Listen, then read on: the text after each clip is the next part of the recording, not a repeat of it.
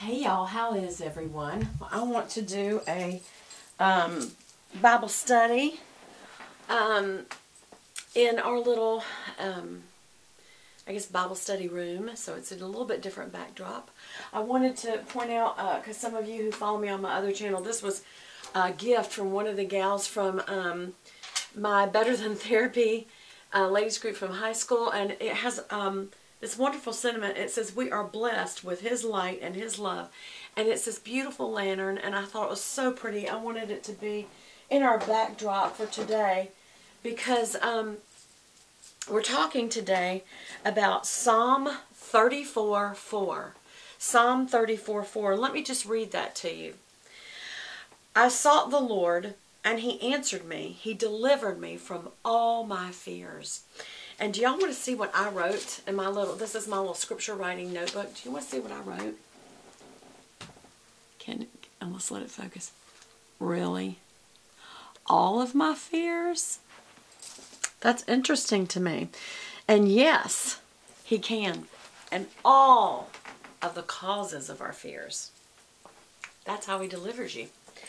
Okay, so I wanted to look and read this. There's um, a note at the beginning in your Bible of um, Psalm 34 that says, Of David when he pretended to be insane before Abimelech and drove him away and he left. Now that's interesting that David was so desperate that he would pretend like that. And here he offers this prayer to the Lord. And I'm going to go back and forward in this. So I'm going to go back to one and I'm going to go forward all the way down. Oh my gosh, I don't even know. I may just read this whole psalm. so excuse me if I have a little bit of a cough there. Um,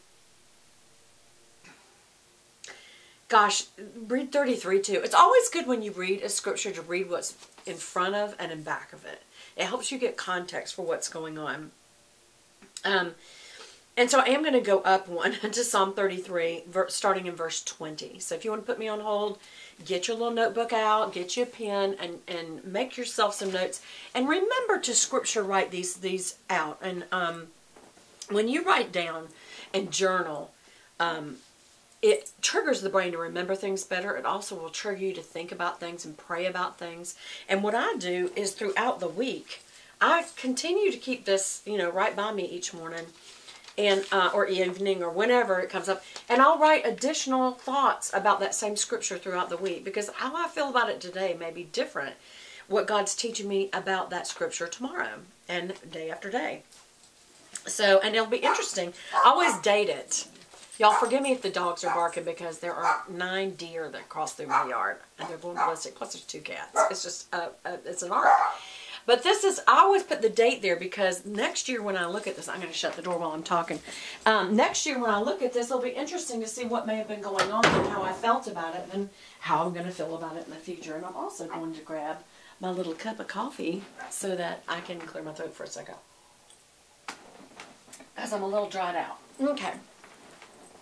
Um, so again, we're looking at Psalm 33, 20 through 22, and then it comes into Psalm 34. We wait in hope for the Lord. He is our help and our shield. In him our hearts rejoice, for we trust in his holy name. Not just him, his name. His name alone has power. May your unfailing love be with us, Lord, even as we put our hope in you. What a great sentiment for us to think about this week, you guys. Now we're starting in Psalm 34, verse 1. I will extol the Lord at all times. His praise will always be on my lips. I will glorify in I will glory I'm sorry, I will glory in the Lord and let the afflicted hear and rejoice. Glorify the Lord with me. Let us exalt his name together. Well, let's just do that. Let's just praise your name, God, together. We're so thankful for you, God. Oh my goodness. Lord, we're so thankful for you. We're so thankful for you. You're so gracious to us. Even when Peter, oh, not Peter, when um David here was just kind of acting nutty, pretending to be insane, and he just must have had this desperateness about him. And Lord, we do stuff like that too. We just do crazy, stupid things. And I just ask you, please forgive us. And we're so thankful for your mercy. We're so thankful for your great mercy in Jesus' name. I, I just had to pray. Okay. Okay, so let's let's look at this verse. Verse 4. I sought the Lord and he answered me. For those of you say, well, I pray, but God doesn't ever say anything back. Yes, he does. You stay in the word of God and he will come off this page to you. He will speak to you through his word. Um, he delivered me from all my fears. So that's quite a statement. David had a lot to be afraid of. He had armies of people after him. Okay. Those who look to him are radiant. Their faces are never covered with shame. This poor man called, and the Lord heard him. He saved him out of all his troubles. The angel of the Lord encamps around those who fear him, and he delivers them. Taste and see that the Lord is good. Blessed is the one who takes refuge in him. Fear the Lord, you holy people, for those who fear him lack nothing. The lions may grow weak and hungry, but those who seek the Lord lack no good thing. Come, my children, listen to me. I will teach you the fear of the Lord. Okay, do you see that a few things have happened now? You see God talking. You see an angel of the Lord also involved. That does not mean Jesus, by the way. Some people in cults will say, well, that's Jesus. He's an angel. No, Jesus has an angel. The Revelation tells us that he has his own angel. I don't know which one it is, if it's even named. Maybe it's a different one all the time, but he has legions of beautiful, wonderful angels that love and adore him. And don't forget, Satan took with him a legion of angels too that hate God and, and are under the control of Satan. And so it is a war. Um, anyway, so it says in verse 11, Come, my children, listen to me, and I will teach you the fear of the Lord. Whoever of you loves life and desires to see many good days, keep your tongue from evil and your lips from telling lies. Turn from evil and do good. Seek peace and pursue it. The eyes of the Lord are on the righteous, and his ears are attentive to their cry. But the face of the Lord is against those who do evil, to blot out their name from the earth. The righteous cry out, and the Lord hears them. He delivers them from all of their troubles. The Lord is close to the brokenhearted and save those saves those who are crushed in spirit. Now, what does all that mean? When you're crushed in spirit, when you are not um, full of yourself, that's when God can best use you. When you try to use your own strength, you're it's worthless. But when you admit you're weak before the Lord and ask for His strength, His strength is all powerful. When you hear, by the way, when it says that the face of the Lord is against those who do evil, that does not mean that if you've done something wrong, that the Lord turns his face away from you, or if there's, if there's sin, that God's like uh, some weakling that can't even be in the presence of sin. He just, now, does he? God is not okay with sin. He's not going to just abide with sin. But I don't want you to mistake that for the fact that, well, I've been too sinful, the Lord can't even look upon me. Y'all, he looks upon us sinners every day. We're full of sin every day, even though he's forgiven us and we're in the forgiven state until we get to heaven and we are absolutely perfected and rid of this human fleshly body that causes us to continually sin. The state of sin that we are in has been forgiven us by the cross that Jesus Christ went and dumped our sin on. He dumped the sin in hell. And now we are forgiven because of what he did. Does that mean that you are absolutely sin free? Well, in the future sense, yes, because all your sins are going to be forgiven. But you're still in the active now going to commit sins. And that doesn't mean God goes, oh, I can't look at Beth because she has a sin. Please do not fester that around. I've heard preachers say that. I've seen people say um, that, that God turned his face away from Jesus at the cross because there was sin on him. God does not turn his face away from you because you have sin on you or you sin. That is when he grabs you and says, I can break this off of you.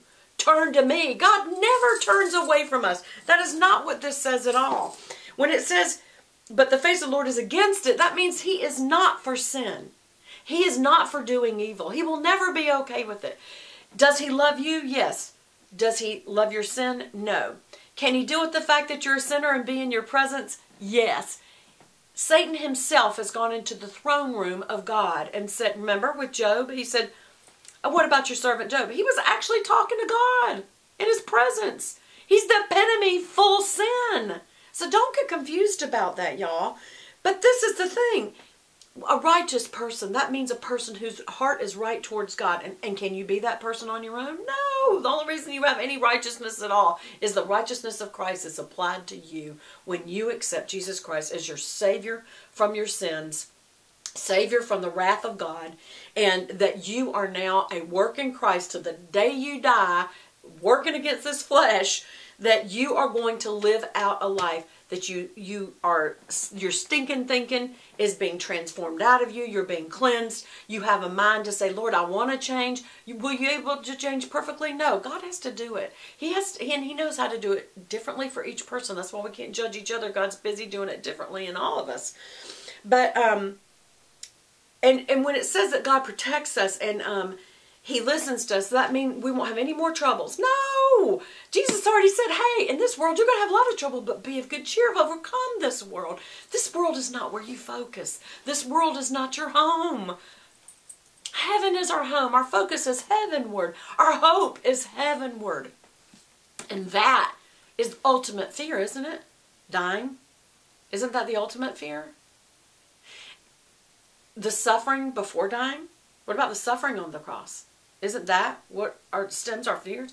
We have lots of sources of fears, and what this is saying is, what David is saying is, God can deliver you of all of that. The the sins themselves, the fears themselves, and the source of it all. Why? He doesn't even know why what he's saying yet. This is the Lord speaking through David.